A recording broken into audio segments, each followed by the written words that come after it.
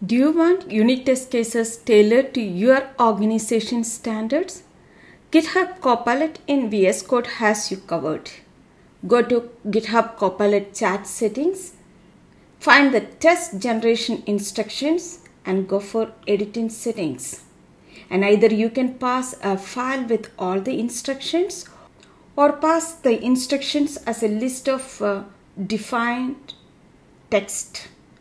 In our case, we define four instructions. The first instruction says a meaningful method name. The second instruction define a pattern for the method name where it start with test underscore and end with a, a suffix of expected behavior.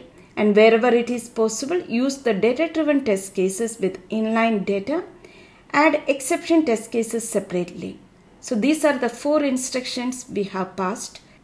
Let us generate the test cases using slash test. As you can observe that along with the file, the instructions are passed and it's generated unit test cases based on data driven approach and one another test case for exception scenario.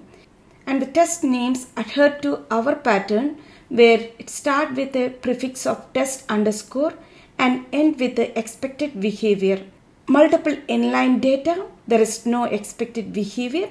In the second case, we expect the argument null exception, which is used for forming the test case method name.